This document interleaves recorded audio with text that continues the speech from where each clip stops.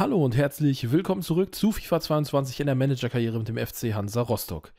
Nach einem kleinen Rückschlag gegen den FC Schalke 04, des, äh, der uns 3 zu 1 schlagen konnte in der letzten Partie, müssen wir es jetzt besser, äh, besser machen gegen die Braunschweiger Löwen. Und ich muss vor allem auch sehr viel besser machen, indem ich besser rede. So, verzeiht mir, es ist spät. Ich kann nicht pennen und dachte mir, ach komm, nimmst du halt auf. Ähm, so, Dwomo und Cissé starten beide. Cissé, weil er lange nicht gespielt hat. Dwomo, weil er sich ein bisschen beschwert hat. Äh, mal wieder. Der will halt unbedingt Stammspieler werden. Aber ich kann ihm nichts anderes anbieten als eben die Joker-Rolle hinter Batista Meyer.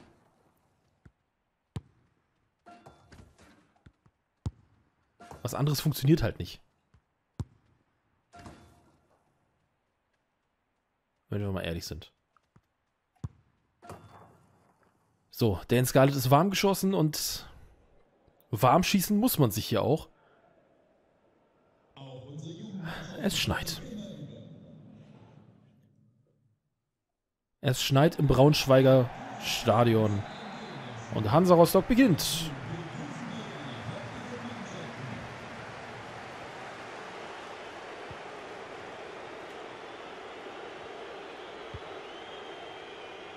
Und spielt direkt den Fehlpass. Cool.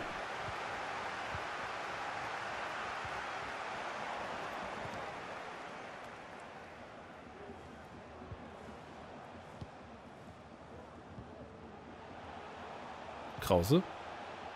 Und Wiggett mit der Kopfabwehr zurück auf Luca Unbehauen.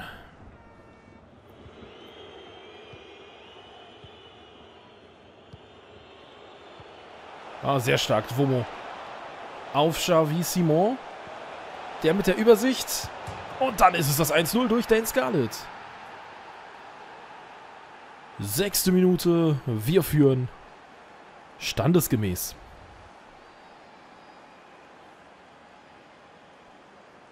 Wobei eigentlich der Ball nicht so äh, steil gedacht war, wenn ich ehrlich bin.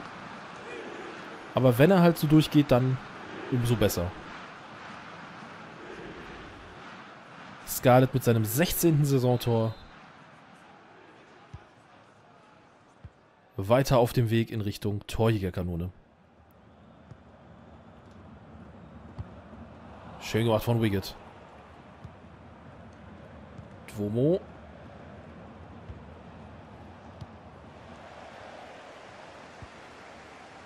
Lavia. Scarlett auf Dwomo.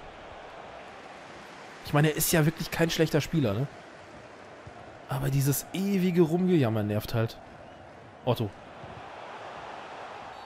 Oh, okay. Das wird als Foul gepfiffen. Und dann spielen sie es auch noch ins Abseits. Alles klar.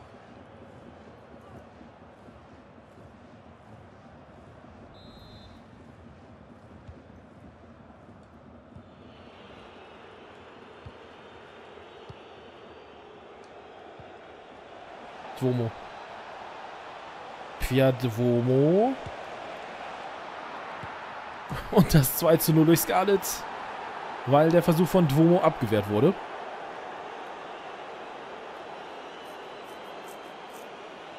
Aber der Engländer reagiert schnell und erzielt seinen Doppelpack innerhalb von 8 Minuten.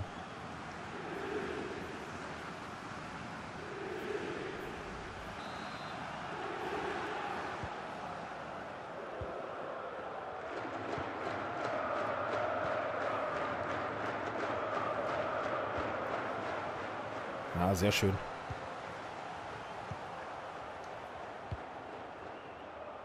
Das ist dieses berühmte, wir müssen eine Reaktion zeigen. Nach einer äh, Niederlage eben direkt wieder da sein.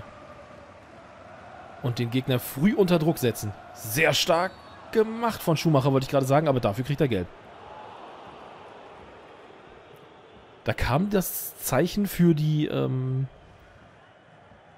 für den Vorteil aber auch sehr spät, ne? Ich dachte wirklich, wir hätten das als richtig gute Grätsche ge äh, gebracht. Das heißt, Schumacher muss jetzt aufpassen. Sonst endet das Spiel hier in Unterzahl.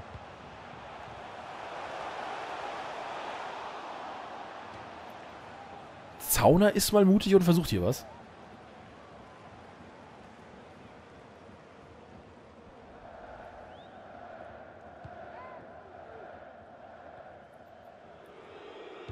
Ich sag mal, so ein Zlatan hätte den schon irgendwie aufs Tor gekriegt.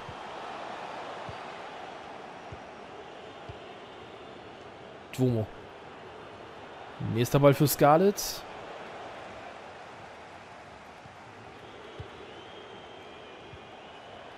Oh, gut gemacht. Chavissimo.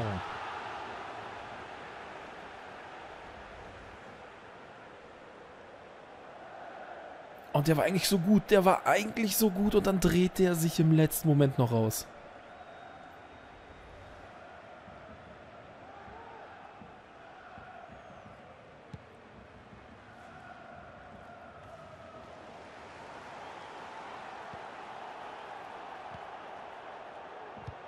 Ah, ist schön gemacht, Cissé. Und Scarlett. Nimmt nochmal Schumacher mit. Wieder Scarlett. Lavia. Romeo Lavia.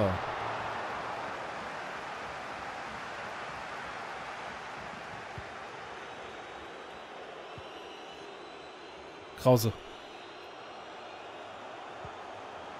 Oh, stark gespielt. Multhaupt.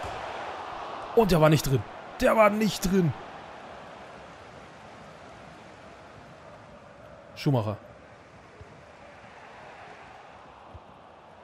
Der war einfach nicht drin.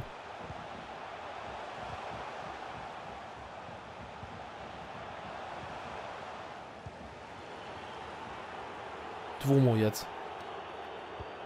Spiel nimmt gerade ein bisschen Fahrt auf, habe ich das Gefühl. Schumacher. Müssen wir es eindämpfen. Schumacher nicht mit dem 3 zu 0.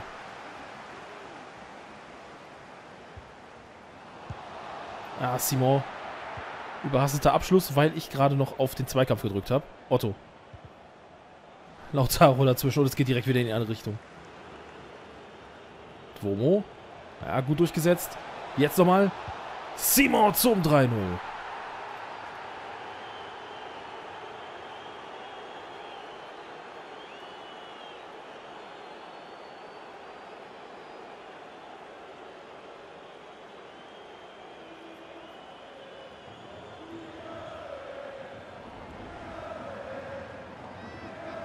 Also Dwomo macht wirklich Spaß, wenn er sich denn äh, eben mal nicht beschwert. Sehr starkes Zuspiel und Chavissimo auch grandioser Abschluss. Überlegt, ohne Gewalt, einfach an dem Torhüter vorbei.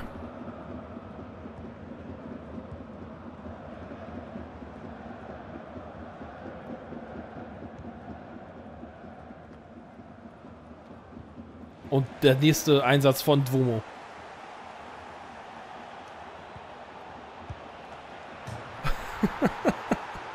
Beschwer. Oh Gott. Beschert Dane Scarlett den Dreierpack und das 4 zu 0 für uns. Mit ganz viel Glück allerdings. Er hätte es selber machen können, legt ihn aber nochmal rüber.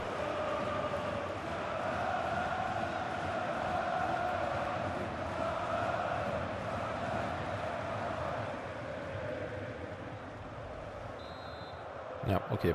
Dreierpack Dane Scarlett, lange nicht mehr gemacht übrigens. Ähm.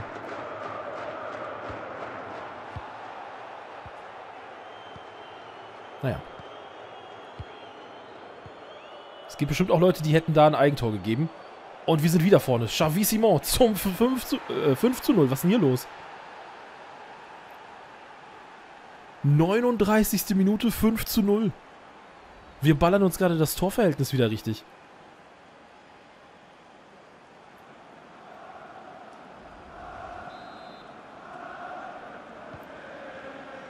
Was geht ab?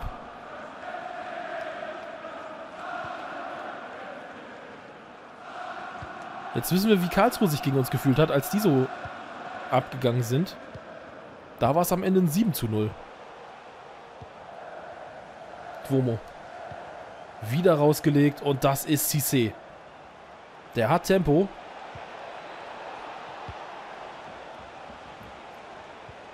Ah, und da fehlten leider so ein paar Zentimeter, um Scarlet anzuspielen. Girth. Oder Giert? Das hatten wir, glaube ich, schon mal, ne? Girth oder Giert? Ich glaube, er hieß Giert. Lavia. Duomo. Und Pierre Duomo mit dem Versuch, Bangso. Bangso, keine Ahnung. Mit der äh, Parade. Wird auch wichtig für ihn sein, mal einen Ball endlich rauszufischen. Und mit einem 5 zu 0 gehen wir in die Pause. Das kann sich sehen lassen. Hannover gegen Erzgebirge Aue 0 zu 1 aktuell. Und ich würde mal behaupten, wir wechseln. Ich würde Schumacher mal eben hier rüberpacken, damit Schumacher dann eben runter kann. Und Huge werft da dann auftreten kann. Cissé kann die linke Außenbahn ruhig bedienen. Hat er ja auch schon öfter gemacht. Zweite Hälfte läuft.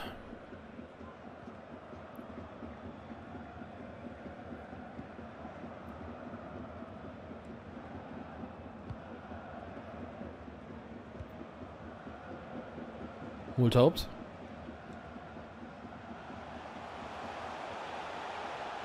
Oh, Grätsche, aber die Flanke kommt trotzdem noch. Wird auf jeden Fall gleich nochmal eine gelbe Karte geben. Bei der nächsten Unterbrechung befürchte ich Dwomo. Xavi Simon. Der hat den Platz. Der hat den Platz. Bekommt auch nochmal die zweite Chance. Wunderschöne Fußabwehr.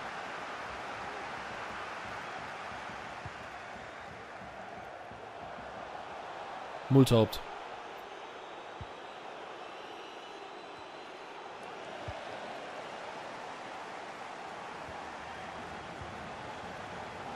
Dwomo. Sehr gut. Und Scarlett.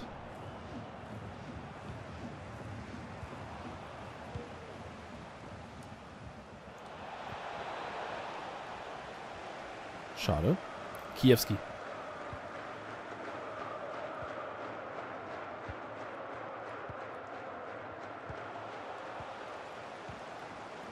Und sofort sind wir halt wieder zur Stelle und wieder im Angriff über Dane Scarlett. Und der bringt den vierten Treffer nicht unter.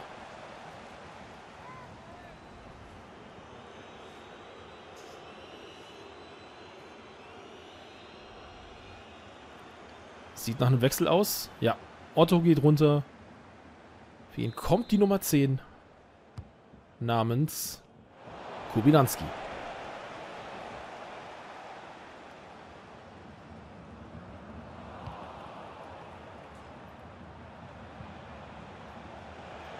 Lavia. Aus der Distanz und wieder Bangso.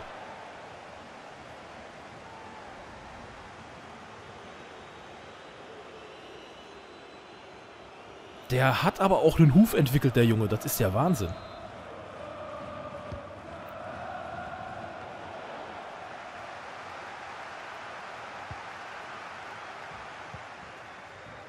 Vandenberg. Cissé. Und wo? Legt nochmal auf. ja gut, Romeo Lavia wird auf jeden Fall kein Goal... Ähm, äh, ja, kein Tor, äh, Torjäger mehr. Giert geht jetzt runter. Für ihn kommt Lauberbach.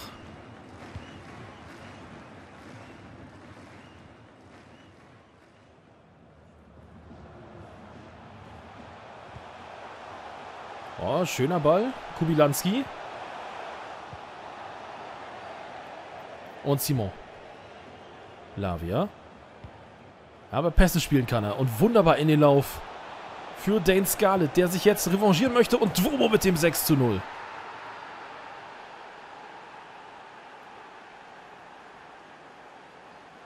Sechsundsechzigste Minute. Pierre Dwomo trifft zum 6 zu 0 und ja, sehr gut gemacht von Scarlett.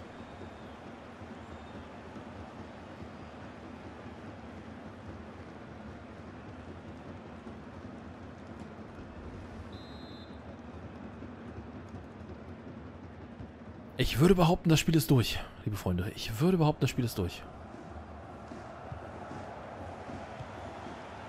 Aber nicht so mit unseren Jungs. Die wollen weitermachen. Wollen was fürs Torverhältnis tun.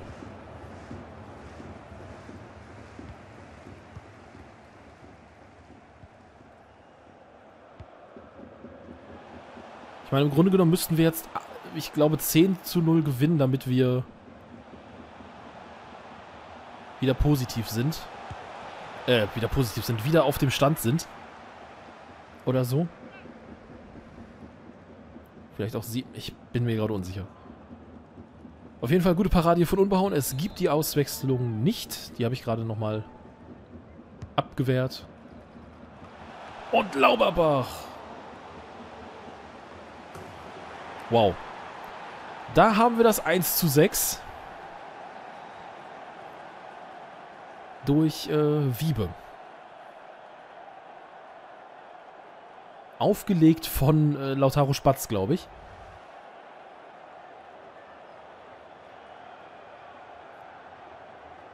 Oh Gott. Lautaro Spatz dann auf das Bein von Pascozzi und von da springt der Ball perfekt hoch, damit Wiebe ihn mit dem Kopf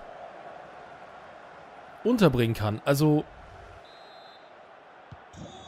mehr ein Eigentor als wirklich ein rausgespieltes von Braunschweig. Ja gut, aber wir schenken Wiebe sein allererstes Saisontor. Ist ja auch irgendwas wert, bestimmt. Der hatte bestimmt irgendwie eine Wette am Laufen und jetzt hat er ein Kasten Bier gewonnen. Kubilanski. Ah, sehr schön. Dwomo. Krause. Kubilanski und Henning. Sowas kann jetzt aber auch eine Mannschaft beflügeln, wenn man mal ehrlich ist. Sollten das so schnell wie möglich wieder umkehren. Henning.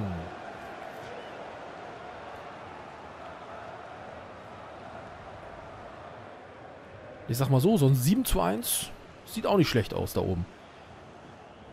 So, Batista Meyer kommt jetzt für Dwomo. Gutes Spiel gemacht. Wir werden nochmal reden, Junge. Vielleicht auch mal deinen Vertrag überarbeiten und die Rolle ein bisschen anpassen. Batista Meyer sofort im Spiel. Sofort mit der Chance. Gelingt leider nicht. Und dann steht Cissé im Abseits. Boma kommt jetzt nochmal für Vandenberg.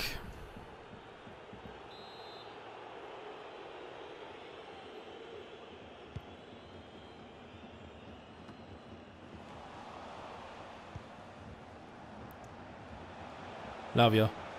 Uh, schade.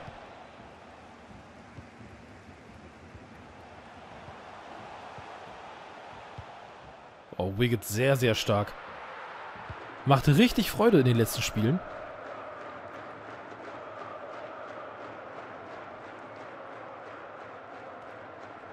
Ah, schade. Hugewerf rutscht weg.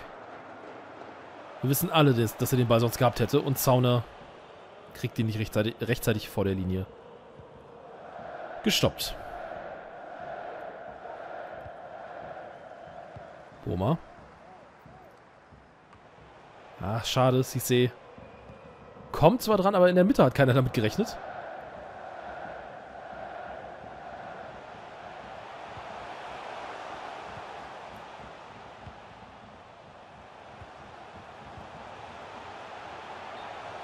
Abseits. Ja gut, aber ich sag mal so 6 zu 1. Wenn es so bleibt, nehme ich gerne mit.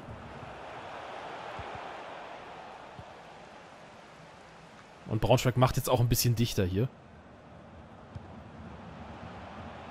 Zeigt eine deutlich andere Seite als noch in der ersten Halbzeit, aber das wird hier nicht mehr reichen, um noch groß was rauszuholen. Außer ein 2 zu 6, Lauberbach.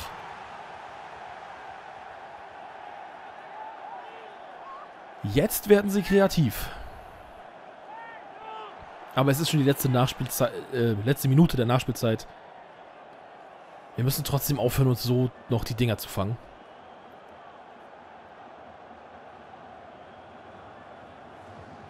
Naja, wobei man auch sagen muss, gut gemacht von Henning, den Ball so abzuschirmen von Luca Unbehauen äh, und gleichzeitig ihn dann so weiterzuleiten. Aber ja, 2 zu 6. Batista Meyer, äh, Batista Meyer nochmal mit einem weiten Schuss, der aus der eigenen Hälfte immer sehr komisch aussieht. Am Ende steht es dann 6 zu 2. Dieser Mann hat drei Tore erzielt und dafür vier Schüsse gebraucht. Hat aber, glaube ich, mit seinen ersten drei getroffen, wenn ich... Äh, wenn ich das gerade richtig äh, überlege. Ja, auf jeden Fall eine starke erste Halbzeit mit dem 5 zu 0 und am Ende siegen wir eben mit 6 zu 2. Oh, Pässe sind ungefähr gleich viele. Finde ich sehr gut. Und wir gehen mal in die Analyse nach dem Spiel, gehen, gehen ins Interview und sehen, dass Aue 2 zu 0 in Hannover gewonnen hat. Gratulationen gehen daraus. Und jetzt bitte mal ein paar Fragen. Zunächst mal danke, dass Sie direkt nach dem Schlusspfiff zu uns gekommen sind. Dreierpacks sind heutzutage eine Seltenheit. Mhm. Der nächste Sieg. Hat Eintracht Braunschweig Ihrer Meinung nach gut gespielt? Mir war von der ersten Sekunde an klar, dass wir das gewinnen werden. Wer soll uns denn jetzt noch aufhalten? Heute hatten alle mit einem engen Spiel gerechnet. Äh, Sie auch?